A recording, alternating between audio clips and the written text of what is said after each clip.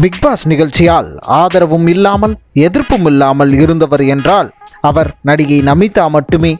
இவருக்கு கடந்த வருட இறுதியில் திருமணம் நடந்தது. திருமணத்திற்கு பிறகும் நடிகை நமிதா நடிப்பை தொடர்கிறார். தற்போது பொட்டு என்ற படத்தில் நடித்து வருகிறார். இந்த படத்தில் அவர் அகோரியாக நடித்து வருகிறார். படத்தின் புகைப்படம் வெளியாகி உள்ளது. இதில் அவரின் அகோரி புகைப்படம் பயமுறுத்தும் வகையில் உள்ளது. இந்த படம் அடுத்த மாதம் வெளியாக உள்ளதாக கூறப்படுகிறது. இதே மாதிரி உங்களுக்கு பிடிச்சமான ஸ்டார்ஸை பத்தி அப்டேட்ஸ் தெரிஞ்சுக்கணும் அப்படின்னா மறக்காம சப்ஸ்கிரைப் பண்ணிடுங்க. நன்றி.